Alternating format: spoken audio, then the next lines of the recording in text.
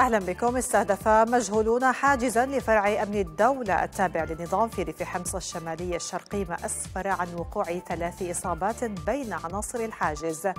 ونقل موقع نداء بوست أن الهجوم كان بوساطة قنبلة يدوية.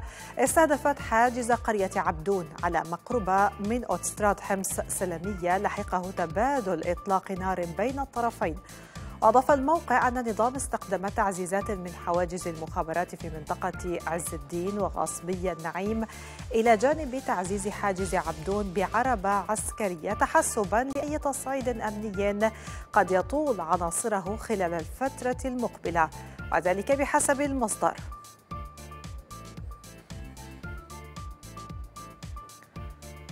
أفاد موقع العربي الجديد بأن الشبيبة الثورية تجهز عشرات الشباب للقتال في صفوفها بالتزامن مع التهديدات التركية بشن عملية عسكرية ضد قسد.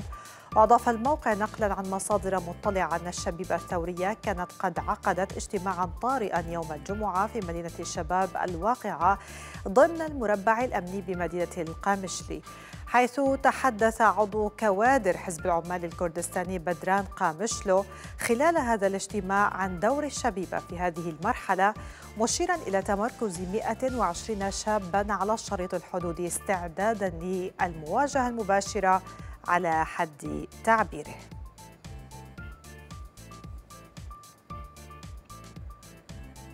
أعفت وزارة الكهرباء التابعة لنظام منتجع الربان الذهبية في محافظة طرطوس من التقنين الكهربائي بالرغم من تأكيدها رفض استثناء التقنين عنه في وقت سابق. وقالت صحيفة البعث الموالية أن الوزارة قررت إيصال الكهرباء لمنتجع الأثرياء كما وصفته على مدار اليوم بكامله. منتقدة بشدة قرار الوزارة حول إعفاء بعض المنشآت السياحية من التقنين على حساب حصة المواطنين من الكهرباء. في حين تستغل هذه المنشآت ما تعده ميزة توفر الكهرباء لديها وترفع أسعارها أضعافاً. ظهرت أسماء الأسد بفيديو مصور من ريف اللاذقية ادعت فيه أنها متضامنة مع سكان المناطق التي شهدت حرائق خلال الفترة الماضية زعيمة تحقيقهم ما سمته انتصارا على الحريق. معتبرة أن ما جرى يؤكد فكرة اللامركزية الإدارية التي تحتاجها المجتمعات المحلية على حد زعمها. أنا وسيادة الرئيس جينا على هالمنطقة بعد الحرائق. والمشهد المؤلم والقاسي آه، اللي كان موجود. هذا المشهد طبعا كان مؤلم لنا كلنا كسوريين بس أكيد كان مؤلم لإلكم إلكم أكثر. أنتو أهالي الأرض وأنتو أهالي هالقرى. وبوقتها وبوقتها يمكن كان كثير سهل الواحد يستسلم ويفقد الأمل. خاصة بالسواد اللي كنا نحن عم نشوفه تقريبا بكل الضياع بالمنطقة. ولكن أنتم ما استسلمتوا.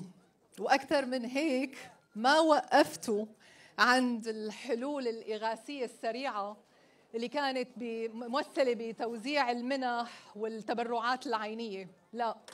أنتم كملتوا وفكرتوا بحلول تنموية وبمشاريع مستدامة طويلة أصدرت وزارة التربية والتعليم في الحكومة السورية المؤقتة بالأمس نتائج امتحانات الشهادة الثانوية للفرعين العلمي والأدبي.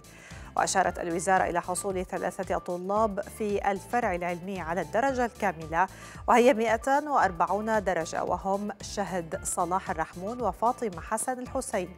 وشعبان مصفى بكور أما في الفرع الأدبي فحصل على الدرجات الأعلى كل من شذا محمد وضاح فرهود بدرجة 215 وعبير محمد عبد الله بدرجة 214 ودعاء كامل النجيب العثمان بدرجة 213 من أصل 220 درجة. فرضت الفرقة الرابعة التابعة لنظام إتاوات على معظم المنتجات والبضائع المنقولة التي تدخل إلى محافظة السويداء ومنها مواد البناء. وقالت شبكة السويداء 24 إن حاجز الفرقة الرابعة في منطقة المسمية زاد من فرض إتاوات على هذه المواد حيث نقلت عن أحد الشهود إجباره على دفع 60 ألف ليرة سورية لقاء نقله كمية من الحجر الصناعي. فضلا عن دفع مبالغ إضافية لعناصر الحواجز لما سموه إكرامية لحماة الوطن كما وصفوها.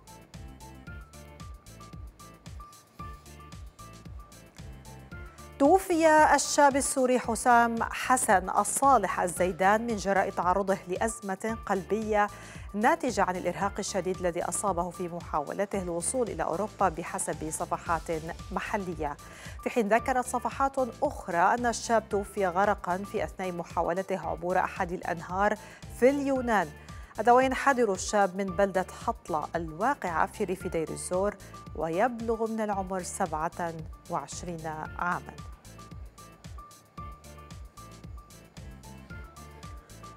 قتل طفل سوري متأثرا بإصابته برصاص طائش استخدم في مشاجرة وقعت بين مجموعتين من الأتراك في منطقة الشهيد كامل في ولاية غازي عنتاب.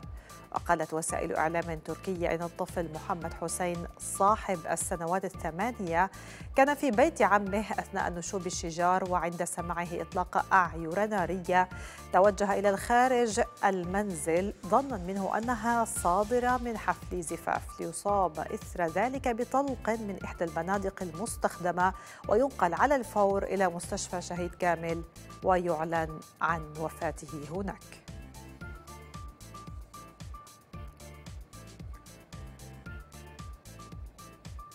ختام نشرة أحوال حلقة اليوم. أما الآن فإلى ملفات الليلة ونبدأها بتحقيق لصحيفة الشرق الأوسط عن تحول أمراض سوء التغذية إلى ظاهرة في مناطق النظام نتيجة سوء الأوضاع الاقتصادية.